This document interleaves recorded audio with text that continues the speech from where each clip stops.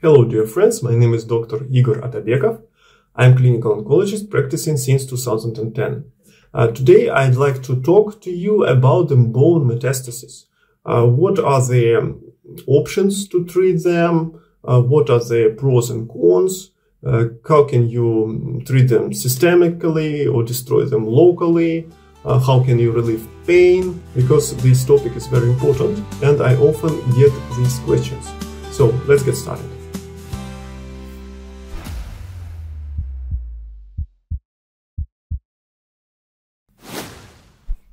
So, bone metastasis is when the tumor uh, spreads to the bones and makes their new uh, growth there. Many tumors love to metastasize to bones, like uh, breast cancer, uh, for example, lung cancer, prostate cancer, uh, stomach cancer, uh, for example, multiple myeloma, and some other tumors, they also sometimes metastasize to the bones. What are the symptoms of such metastasis? It can be asymptomatic or it can cause pain. And uh, by the investigations, by the statistics, uh, up to 80% of patients are not treated well for their pain. That's why it's a big and huge problem.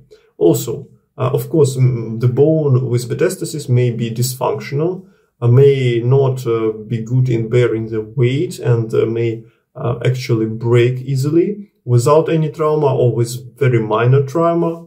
and um, also, these metastases may press uh, the vessels, blood vessels, and uh, nerves um, that are just located nearby causing different symptoms, symptoms like weakness or tingling or radiating pain that's shooting somewhere in the leg or in the arm, for example, or of course, uh, impairing the blood flow. So what is their official treatment? Of course, first of all, we need to think about pain relief.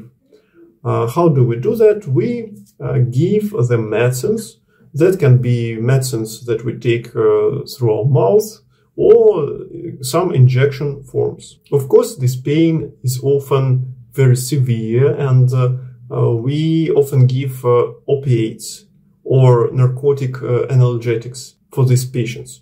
Plus, to improve their efficacy, we can give some adjuvants. What is that? Uh, these are additional painkillers with different mechanisms of actions. For example, um, some drugs that we give just for fever and uh, toothache, like uh, paracetamol or uh, ibuprofen or diclofenac, ketorolac or others. Plus, we often give the osteoclast inhibitors. Uh, these are the separate group of drugs. Uh, our bone is the um, alive organ. It's not just a stick. It's alive. And um, there are osteoblasts that produce new bones all the time. And there are osteoclasts that resorb this bone. And these uh, processes must be in balance. With this treatment, uh, we give these drugs that will block the bone resorption, so the bone will be only produced. This may actually protect with um, bone destruction by metastasis. Somehow, I don't say totally protect, but it can slow down. Uh, they have some anti-tumor activity and um, they actually may decrease the pain and uh, the risks of uh, fractures. I'm talking about uh, zoledronic acid and I'm talking about denosumab. Denosumab is a more modern drug that is uh, more expensive, but uh, it's a little bit more effective than zoledronic acid and it doesn't uh, affect the kidneys. some patients who have severe kidney problems should not use the zoledronic acid, uh, but they can use denosumab, for example. Uh, acid, uh, on the other hand, uh, is uh, a little bit less effective than denosumab, but it's much cheaper, it's more available, and uh, also um, some clinicians, um, they use it once in three months instead of once in every month. That is also more comfortable for patients. How else can we relieve the pain? If there is one big tumor in the bone that is uh, mostly painful, or that tumor metastases are not painful, uh, we can use their external beam radiation to affect this tumor. In 60% of patients, uh, it will help with their pain. In one quarter, it will totally relieve the pain. But it has some issues like toxicity um, because it's um, ionizing radiation and um, it can also affect the skin while the beam is going through the skin. I made a video on uh, radiation dermatitis because uh, this is a common issue. 90% of patients may develop this radiation dermatitis during radiation therapy. And to prevent it or to minimize it or treat it, I made a video radiation dermatitis prevention and treatment on this channel. So it may be very beneficial for those who are about to undergo radiation therapy. Also, as you understand, 40% of patients won't get any relief uh, of pain after this radiation therapy, or it can come again, uh, come back, I mean, the pain. And um, then, of course, we can sometimes retreat with radiation therapy, but uh, usually it's less effective and it uh, increases toxicity.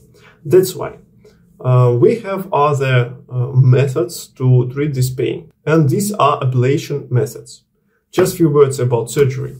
Uh, in some patients, when the metastasis is only one, uh, we can use uh, surgery to remove this piece of bone with the goal of potential cure of this patient. Or often we can see the situations when the fracture is impending and it may cause some uh, big problems for the patient, uh, spinal cord, uh, injury, compression, or big blood vessels or ner nerves uh, damage. That's why we always seek for uh, the consultation of orthopedic oncological surgeon who will um, assess the situation and maybe they will do surgery to strengthen this part of the bone or sometimes they put the cement inside to uh, make it stronger. This is called vertebroplasty or kyphoplasty. You can see here. And I forgot to tell you that there is one more type of radiation therapy that is not local but systemic. This is called uh, uh, radio radionuclide or radioisotope therapy when we inject uh, the radioisotopes that will um, accumulate mostly in bones and they will produce the release the ionizing radiation. They can inject radium that will produce the alpha particles. Uh, these are better because they don't fly so far as beta particles and um, they have less toxicity and more efficacy. And also there are some strontium or samarium uh, that um, have beta particles and they um, go a little bit further and they are more prone to cause toxicity to bone marrow and uh, for patients in whom the bone marrow is already tired of chemotherapy, for example, and they already have low uh, erythrocytes, red blood cells, or uh, white blood cells, leukocytes, uh, then it may be a real issue. So alpha particles like radium are um, a little bit safer. And also alpha particles, they prolong survival of such patients versus beta particles. And of course, radionuclide therapy is uh, for those patients who have a lot of metastases, not only one. If they have one, they use uh, external beam radiation, focused radiation. So we have big metastases or not very big, but painful. We want to do something with it. Radiation therapy is not working. What else can we do? We can use ablation techniques. Uh, most of them uh, are non done quite fast. Uh, you can uh, put some needles, electrodes, antennas inside the tumor to uh, heat it up or cool it down and destroy it. For example, radio frequency ablation, they put electrodes inside the tumor and it will produce high frequency waves that will heat up the tumor around this tip of this um, electrode. It's fast, it's effective, it's cheap, but um, the zone around is difficult to monitor and it can be the um, not very round shape and it may actually produce some uh, damage to surrounding um, tissues, uh, surrounding structures, and it's uh, it has a lot of uh, pain during or after procedure. It can be used if uh, the metastases are not very abundant, if the pain is intense, if there is a good access place this uh, electrode. And of course, patient mostly needs general anesthesia. That's why um, the patients that can tolerate this general anesthesia, not very uh, weak and don't have very severe uh, comorbid conditions. Next method is cryoablation. Uh, that's when you put these tubes inside the tumor. First you put argon gas to cool it down, to freeze it, and then you put helium to heat it up. And then again, it will produce freezing and freezing. Crystals will be formed. They will damage the uh, membranes of the cells. The cells will die. It will make a frozen ice globe there and uh, the metastasis will die eventually. It's easy to monitor, less pain, it can be used for bigger lesions, uh, and uh, unfortunately it's quite expensive. There is one very great method is uh, ultrasound, high intensity focus ultrasound waves.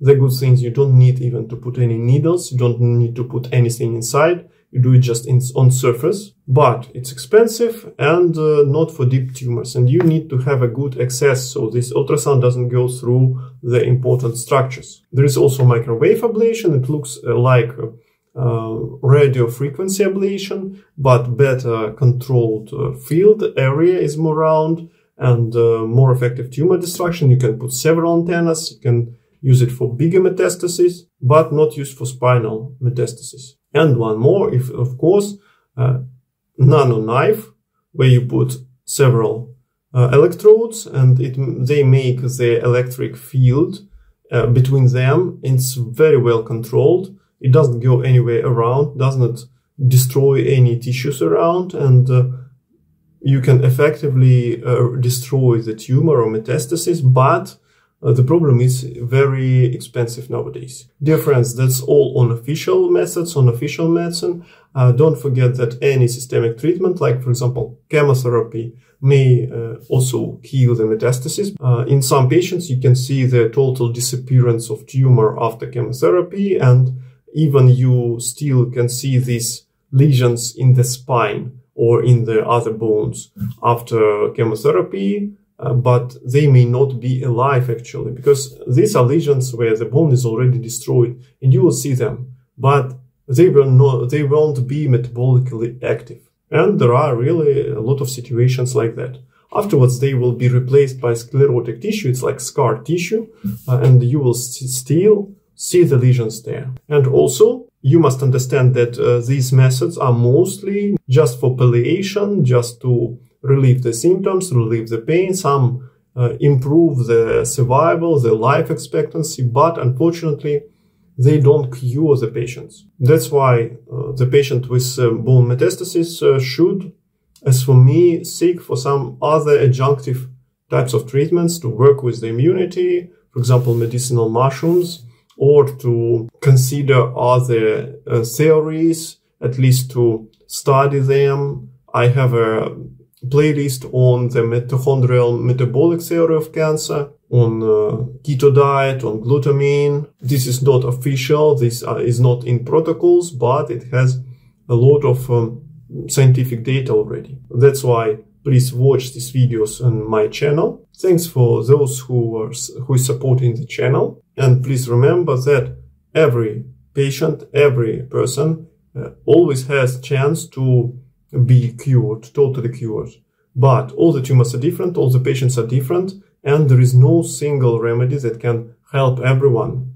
In every situation, different things help. And we cannot always find what combination will be effective in this patient or the other one. But there are a lot of cases where we see that the patient changes his lifestyle, changes his type of, um, for example, his diet, starts to take some supplements and he's completely healed. That's why there is always chance to be cured. I wish you good day, God bless you, good luck and goodbye.